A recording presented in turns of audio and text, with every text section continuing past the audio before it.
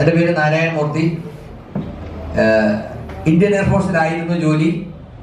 കോട്ടയം ഇരാറ്റുപേട്ട ആണ് സ്വദേശം. കഴിഞ്ഞൊരു ഏഴ് വർഷമായിട്ട് തൃശ്ശൂർ താമസിക്കുന്നു. വളരെ യാദൃശ്യമായി ഞാൻ എയർഫോഴ്സിൽ ജോലിയിലിരിക്കെ പരിചയപ്പെട്ടതാണ് ആർ സി എം എന്ന് പറയുന്ന ഈ പ്രസ്ഥാനം. ഇതിനെ മനസ്സിലാക്കി ഞാൻ പെട്ടെന്ന് അങ്ങ് വരികയൊന്നുമല്ല ചെയ്തത്. നിങ്ങളിൽ പല ആളുകളും ചെയ്ത പോലെ തന്നെ വളരെ വിമുഖതയോടുകൂടി ഇതിനെ ഒഴിവാക്കാൻ ശ്രമിച്ചു. പക്ഷേ ഇപ്പോ വിനോദൻ പറഞ്ഞല്ലേ ദൈവത്തിന്റെ പ്രത്യേകം പ്രീതിക്ക് പാത്രമായ ആളുകൾക്ക് മാത്രമേ ആ സമയം മനസ്സിലാക്കാൻ കഴിയൂ എന്നാണ് ഞാൻ വിശ്വസിക്കുന്നത്. അതുകൊണ്ട് അങ്ങനെ ദൈവത്തിന്റെ പ്രീതിക്ക് പാത്രമായതുകൊണ്ട് ആസിമിനെ മനസ്സിലാക്കാൻ എനിക്കൊരു അവസരം കിട്ടി എന്ന് ഞാൻ വിശ്വസിക്കുന്നു. അങ്ങനെ ഒരു വലിയ പ്രോഗ്രാമിൽ ഞാൻ ആസിമിനെ മനസ്സിലാക്കിയപ്പോൾ ഞാനൊരു തീരുമാനം എടുത്തു എന്റെ എയർഫോഴ്സിലെ ജോലി വേണ്ടെന്ന് വെക്കുക. അതിനുശേഷം ഇടമല നോക്കിയിട്ടില്ല. കഴിഞ്ഞ പന്ത്രണ്ട് വർഷമായിട്ട് ഞാൻ ആർസിമിൽ ജീവിക്കുന്നു.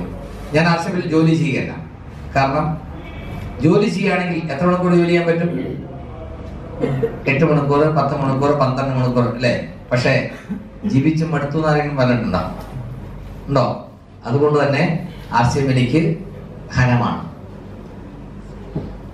എനിക്ക് ആർ സി എമ്മിൽ നിന്ന് കിട്ടിയ നേട്ടങ്ങളിലെ ഒരു ഒരു ഒരു പങ്കുവെക്കലാണ് ഞാനിവിടെ നിങ്ങളുടെ മുമ്പിൽ അവതരിപ്പിക്കാൻ ഉദ്ദേശിക്കുന്നത്. ആശയം എന്ന് പറയുന്നത് മഹാസാഗരമാണ്. അതിൽ നിന്ന് എന്തൊക്കെ കിട്ടും എന്നും എങ്ങനെ കിട്ടുമെന്നും എന്ത് ചെയ്യണമെന്നും ഒക്കെ മനസ്സിലാക്കാൻ കുറച്ച് ക്ഷമ വേണം. പക്ഷെ ഇന്നത്തെ ഈ ഒരു സെഷൻ കൊണ്ട് ഇതെനിക്കും ആവശ്യമുള്ളതാണ് എന്ന് നിങ്ങളെ ബോധ്യപ്പെടുത്തുക അങ്ങനെ ചെറിയൊരു പണി മാത്രമേ ഞാൻ ചെയ്യാൻ ഉദ്ദേശിക്കുന്നത് അപ്പോ എനിക്ക് കിട്ടിയ രണ്ട് പ്രധാനപ്പെട്ട നേട്ടങ്ങൾ. ഒന്ന് ആരോഗ്യം. കഴിഞ്ഞ പതിമൂന്ന് വർഷമായിട്ട് ഞാനും എന്റെ ഭാര്യയും എന്റെ മകനും അടങ്ങുന്ന എന്റെ കുടുംബത്തിന്റെ മെഡിക്കൽ എക്സ്പെൻസ് സീറോ ആണ്. എയർഫോഴ്സിൽ നിന്ന് റിട്ടയർ ചെയ്തിട്ട് ഇപ്പോ പന്ത്രണ്ട് വർഷമായി. പന്ത്രണ്ട് വർഷമായി എന്ന് പറയുമ്പോൾ എനിക്ക് അങ്ങനെ സമയം കടന്നുപോയത് ഞാൻ അറിയുന്നില്ല.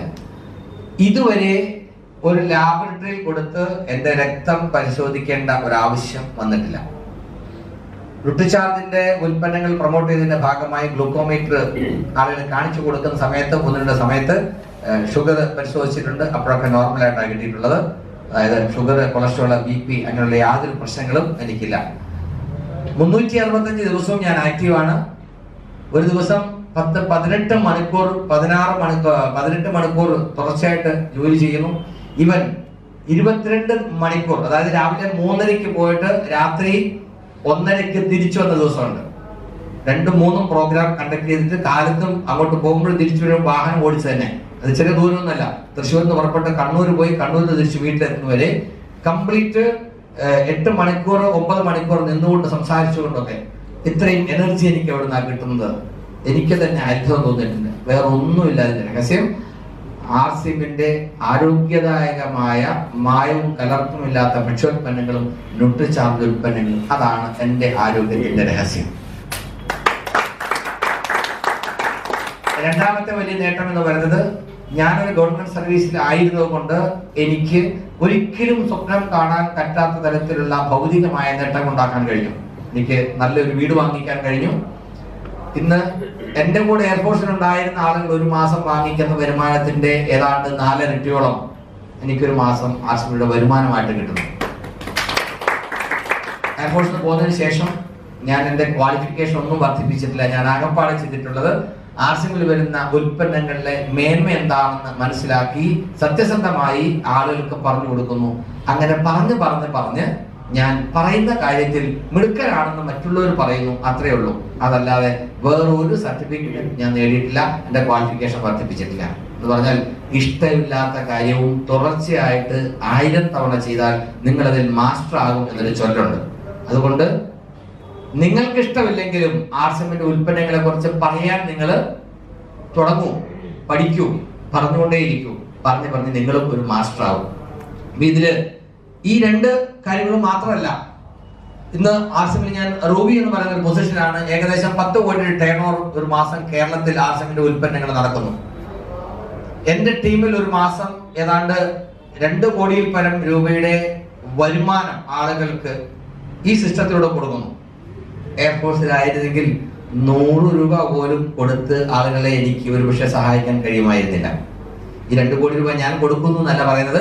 പക്ഷേ രണ്ട് രൂപ രണ്ട് കോടി രൂപ ആളുകൾക്ക് വരുമാനമായി കൊടുക്കുന്ന ഒരു പ്രസ്ഥാനത്തിന്റെ ഭാഗമാകാൻ അതിന്റെ മുന്നിൽ നിന്നുകൊണ്ട് അതിനെ നയിക്കാൻ നയിക്കാൻ ഒരു അവസരം കിട്ടി എന്ന് പറയുന്നത് വളരെ അഭിമാനത്തോടു കൂടി എനിക്ക് പറയാൻ കഴിയുന്നു. ഇന്ന് പതിനായിരക്കണക്കിന് കുടുംബങ്ങളിൽ ആർ സിമ്മിന്റെ വരുമാനം കൊണ്ട് മാത്രം ചെലവ് കഴിയുമ്പോൾ തീർച്ചയായിട്ടും ഇത് ഈ നൂറ്റാണ്ടിന്റെ ഏറ്റവും വലിയ അവസരമാണെന്ന് പറയുന്ന കാര്യത്തിൽ എനിക്ക് യാതൊരു മടിയുമില്ല. അല്പം മുമ്പ് നിങ്ങളോട് സംസാരിച്ച നാരായണൻ പറഞ്ഞു ഈ പ്രായത്തിൽ ഒരു പത്തെഴുപതിനായിരം രൂപ വരുമാനം കിട്ടുന്ന ഒരു സാഹചര്യം ആർസിം അദ്ദേഹത്തിന് ഉണ്ടാക്കി കൊടുക്കുന്നുണ്ടെങ്കിൽ ഇവിടെ ഇരിക്കുന്ന ഭൂരിപക്ഷം ആളുകളും അദ്ദേഹത്തെക്കാൾ പ്രായം കൊണ്ട് ചെറുപ്പക്കാരാണ് വിദ്യാഭ്യാസം കൊണ്ട് അദ്ദേഹത്തെക്കാൾ ഉയർന്ന നിലവാരത്തിലുള്ളവരാണ്. തീർച്ചയായിട്ടും അദ്ദേഹത്തിന് കിട്ടിയ നേട്ടം അതിനേക്കാൾ ചുരുങ്ങിയ സമയം കൊണ്ട് നിങ്ങൾക്ക് ആർക്കും നേടിയെടുക്കാൻ കഴിയുന്നതാണ്. അപ്പോ ഈ പ്രസ്ഥാനത്തിന്റെ ഒരു സാധ്യത എന്താണ്? ഇതിന്റെ ഒരു ബിസിനസ് ഓപ്പർച്യൂണിറ്റി എന്താണ്? അത് ഞാൻ നിങ്ങളുമായിട്ടൊന്ന് പങ്കുവെക്കാൻ ആഗ്രഹിക്കുകയാണ്.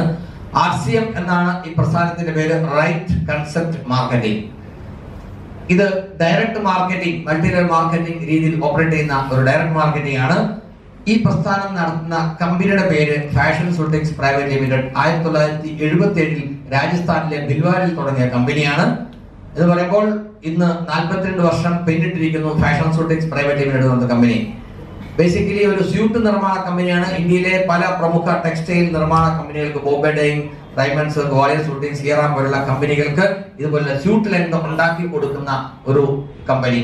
ഈ കമ്പനി രണ്ടായിരം ഓഗസ്റ്റിലാണ് ആർ സി എം എന്ന പേരിൽ ഡയറക്ട് മാർക്കറ്റിംഗ് സ്റ്റാർട്ട് ചെയ്യുന്നത് അന്ന് ഈ കമ്പനിയുടെ ഒരു പ്രൈം പ്രൊഡക്റ്റ് ആയിട്ടുള്ള സ്യൂട്ട് ലെങ്ത് ആയിരുന്നു ഇവരുടെ ഒരു പ്രൊഡക്റ്റ് കമ്പനി ഒന്ന് ഫാഷൻ ഷൂട്ടിങ്സ് ഈ ഡയറക്ട് മാർക്കറ്റ് തുടങ്ങുന്നതിന് വേണ്ടി കമ്പനിയുടെ ഹെഡ് ഓഫീസിൽ അന്ന് സ്റ്റാർട്ട് ചെയ്ത ഒരു ഡിപ്പോ ഇതിന്റെ റീറ്റെയിൽ ഔട്ട്ലെറ്റുകൾക്ക് നമ്മൾ പറയുന്ന പേര് പിക്കപ്പ് സെന്റർ എന്നാണ്. അതിന് പി യു സി എന്ന ഷോർട്ട് ഫോം പറയും. ഇതിൽ മെമ്പർഷിപ്പ് എടുത്തിട്ടുള്ള ആളുകളെ നമ്മൾ ഡയറക്ട് സെല്ലർ എന്ന് പറയും.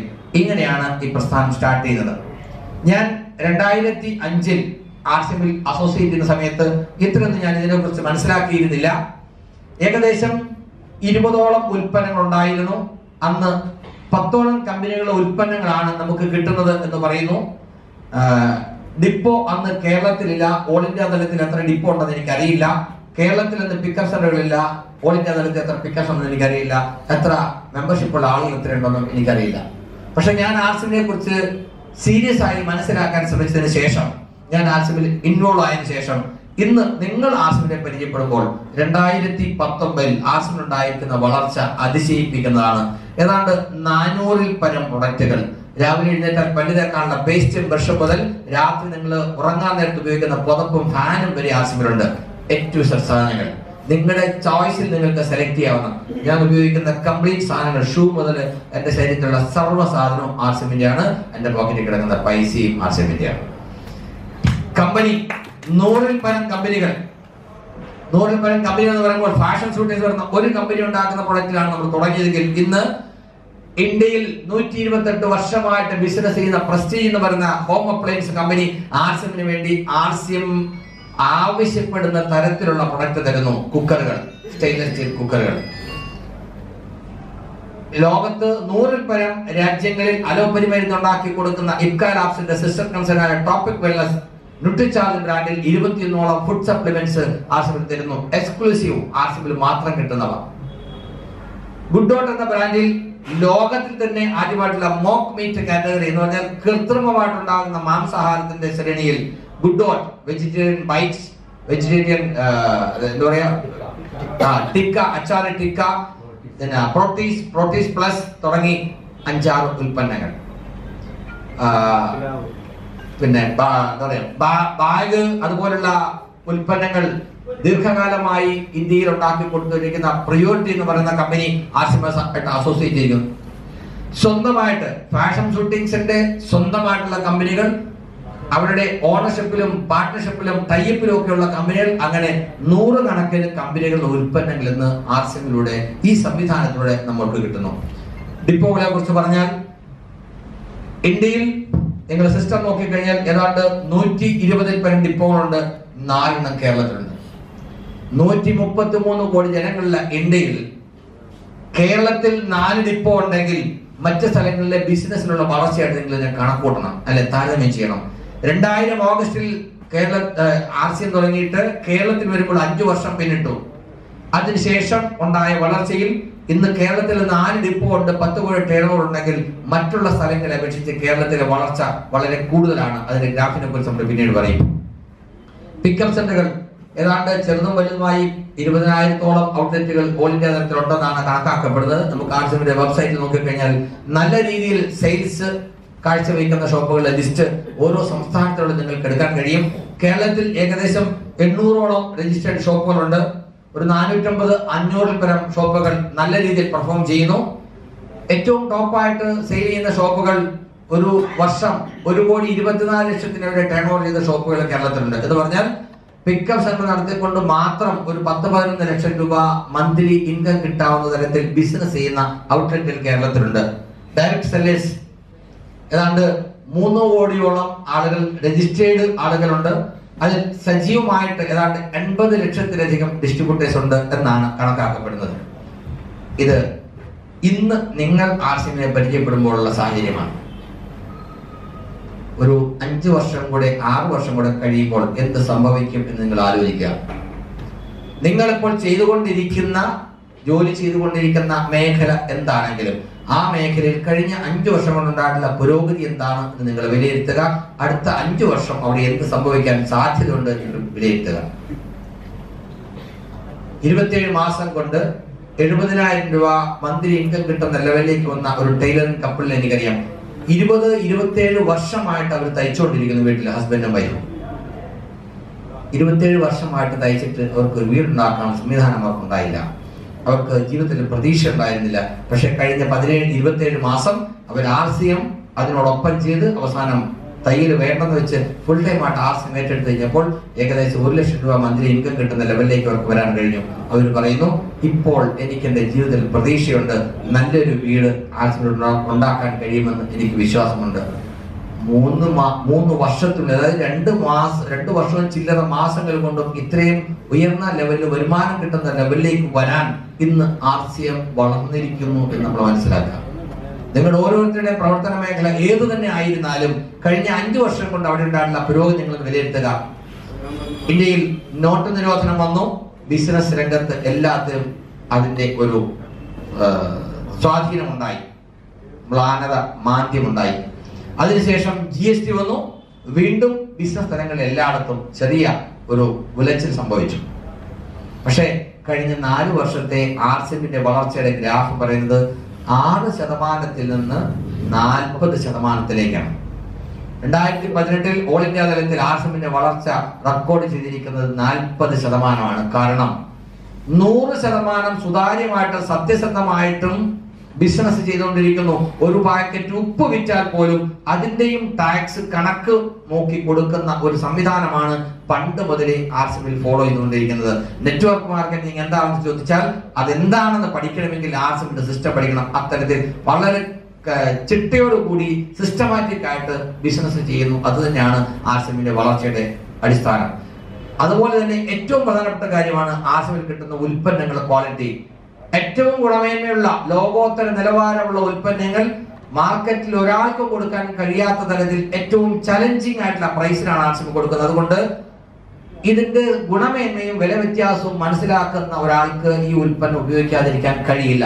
അത്രയ്ക്കും നല്ല ഗുണനിലവാരം നിലനിർത്തിക്കൊണ്ട് ഉൽപ്പന്നങ്ങൾ കൊടുക്കുന്നു. ഇതും ഇതിന്റെ വളർച്ചയ്ക്ക് ഒരു കാരണമാകുന്നു. ആലോചിച്ച് നോക്കാം. രണ്ടായിരത്തി ഇരുപത്തി അഞ്ചാകുമ്പോൾ എന്ത് സംഭവിക്കാൻ സാധ്യതയുണ്ട്? ഈ ഗ്രാഫ് പറയുന്ന പ്രകാരം രണ്ടായിരത്തി ഇരുപത്തി അഞ്ചാകുമ്പോൾ ഉൽപ്പന്നങ്ങൾ കൂടുവോ കുറയോ? കൂടാൻ സാധ്യതയുണ്ട്. എത്ര കൂടുമെന്ന് നമുക്ക് പ്രൊഡിക്ട് ചെയ്യാൻ കഴിയില്ല. ആയിരമോ? ആയിരത്തിൽ കൂടുതലോ ഒക്കെ ഉൽപ്പന്നങ്ങൾ വരാം. കമ്പനികൾ. എത്ര കമ്പനികൾ ആർസ്യമായിട്ട് ഇനി അസോസിയേറ്റ് ചെയ്യുന്ന നമുക്ക് പറയാൻ കഴിയില്ല. ഇന്ത്യയിലെ വലിയ വലിയ കമ്പനികൾ ആർസ്യങ്ങളുടെ പ്രൊഡക്റ്റ് കൊടുക്കാൻ വേണ്ടി കമ്പനിയുടെ മുമ്പിൽ അവസരത്തിന് വേണ്ടി കാത്തു നിൽക്കുകയാണ്. ഡിപ്പോകൾ. അടുത്ത ഒരു രണ്ടോ മൂന്നോ വർഷത്തിനുള്ളിൽ എനിക്ക് തോന്നുന്നു കേരളത്തിലെ മിക്കവാറും എല്ലാ ജില്ലകളിലും ആർസിഎമ്മിന്റെ ഡിപ്പോകൾ വരും. കാരണം ഇന്ത്യയിലെ ഏറ്റവും വലിയ കൺസ്യൂമർ സ്റ്റേറ്റ് എന്ന് പറഞ്ഞാൽ വലിപ്പം കൊണ്ടല്ല കൺസ്യൂമർ ഉൽപ്പന്നങ്ങൾ വാങ്ങി ഉപയോഗിക്കുന്ന ഉപഭോക്തൃ സംസ്കാരം ഏറ്റവും കൂടുതലുള്ള കേരളം. ഇന്ത്യയിൽ ഉണ്ടാക്കുന്ന എഫ് എം സി ജി പ്രൊഡക്റ്റിന്റെ ഇരുപത്തിരണ്ട് ശതമാനം കൺസ്യൂം ചെയ്യുന്ന കേരളത്തിലാണെന്ന് പറഞ്ഞു കേട്ടിട്ടുണ്ട്. ആ കണക്ക് വെച്ച് നോക്കിയാൽ ഏറ്റവും വലിയ സ്റ്റേറ്റാണ് കേരളത്തിൽ അടുത്ത മൂന്ന് വർഷത്തിനുള്ളിൽ എല്ലാ ജില്ലകളിലും ഏറ്റവും കുറഞ്ഞ ഓരോ ഡിപ്പോയെങ്കിലും വരാനുള്ള സാധ്യതയുണ്ട്. അങ്ങനെ വരുമ്പോൾ ഈ ബിസിനസ് എങ്ങോട്ട് പോകുമെന്ന് നമ്മൾ ആലോചിച്ച് നോക്കുക.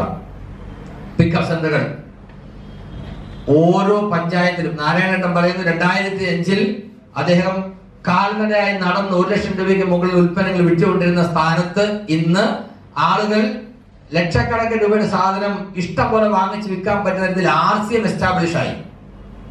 ഒരു മാസം പത്ത് കോടി ടേൺ ഓവർ ഇപ്പൊ കേരളത്തിൽ നടക്കുന്നുണ്ടെങ്കിൽ ഓരോ ഓരോ മാസവും അത് വർദ്ധിച്ചുകൊണ്ടിരിക്കുകയാണ്. അടുത്തൊരു മൂന്ന് വർഷം കഴിയുമ്പോൾ നിങ്ങൾക്ക് അറിവും പരിചയവുമുള്ള മിക്കവാറും എല്ലാ ആളുകളും ആർ സി എമ്മിന്റെ ഉപഭോക്താക്കളായി മാറും എന്നുള്ള കാര്യത്തിൽ യാതൊരു സംശയമില്ല ഉപയോഗിക്കുന്ന സാഹചര്യം നിശ്ചയമായിട്ടും ഉണ്ടാകും. അതൊരു അടുത്ത രണ്ട് മൂന്ന് വർഷത്തിനുള്ളിൽ കേരളത്തിൽ സംഭവിക്കും. ഡയറക്ട് സെല്ലേഴ്സ് മൂന്ന് വർഷം കഴിഞ്ഞാൽ നിങ്ങൾക്ക് ആർസിമിന്റെ ആളുകളെ ജോയിൻ ചെയ്യിപ്പിക്കണമെങ്കിൽ വളരെ ബുദ്ധിമുട്ട് വരും. കാരണം നിങ്ങൾക്ക് പരിചയമുള്ള ആളുകളൊക്കെ മിക്കവാറും ആശയം ജോയിൻ ചെയ്തിട്ടുണ്ടാവും. ഇവിടെ നിങ്ങൾ വന്നിരിക്കുന്ന ഓരോരുത്തരും നിങ്ങൾക്ക് പരിചയമുള്ള ആരെങ്കിലും പറഞ്ഞിട്ട് വന്നതാണ് എന്നുള്ളൊരു സത്യം ഓർത്തുകൊണ്ട് തന്നെ നിങ്ങൾ ഓർക്കുക. മൂന്ന് വർഷത്തിന് ശേഷം ആശ്രമിന്റെ പ്രോഗ്രാമിൽ പങ്കെടുക്കാൻ വേണ്ടി നിങ്ങൾ ഒരാളെ വിളിക്കുമ്പോൾ അവർ പറയും ഞാൻ ഓൾറെഡി ആശ്രമിന്റെ മെമ്പറാണ് എന്റെ വീട്ടിൽ ആർസിമിന്റെ ഉൽപ്പന്നങ്ങളാണ് ഉപയോഗിക്കുന്നത് എന്ന് പറയുന്ന ഒരു സാഹചര്യം ഉണ്ടാകാൻ സാധ്യതയുണ്ട്. ഞാനത് കാണുന്നു. അപ്പോ ആലോചിച്ച് നോക്കാം ഈ സിസ്റ്റം വളരാൻ സാധ്യതയുണ്ടോ? എന്ന് പറയുന്നു? വളരാൻ സാധ്യതയുണ്ടോ? യെസ് അങ്ങനെയാണെങ്കിൽ ഇതിൽ നിന്ന് നമുക്ക് എന്ത് കിട്ടും? നമുക്ക് എന്ത് കിട്ടുമെന്ന് ചോദിച്ചാൽ എല്ലാം കിട്ടും. ഒരു മനുഷ്യന് ജീവിതത്തിൽ എന്തൊക്കെയാണോ വേണ്ടത് അതെല്ലാം കിട്ടും. രണ്ട് അക്ഷരത്തിലാണ് ഉത്തരം. നിങ്ങൾ വേണ്ടത് എന്തൊക്കെയാണെന്ന് പേപ്പറിൽ എഴുതി നോക്കൂല എന്നിട്ട് എന്താ കിട്ടുക എന്ന് പറയും ഞാൻ പറഞ്ഞുതരാം.